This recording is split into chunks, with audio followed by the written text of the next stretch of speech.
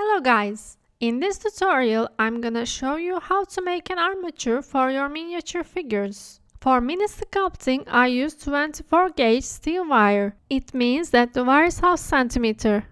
Fold the wire in half and twist it as you see using pliers. Here are the head, the neck, the shoulders and the arms of your figure. Fold another wire and place it on the neck part. After struggling a while, you'll manage to twist it.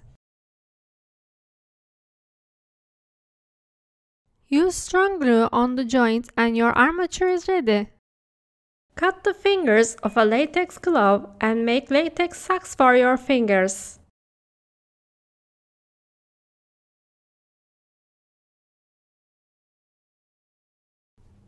I use Milliput for my minifigures. It is a two-component putty. You have to mix equal amounts of two components for 6 minutes.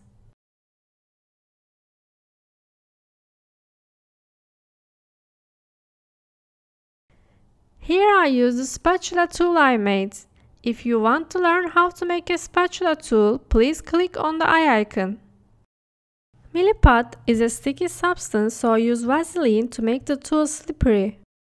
Cover the armature with putty and wait for 24 hours till it gets rock hard.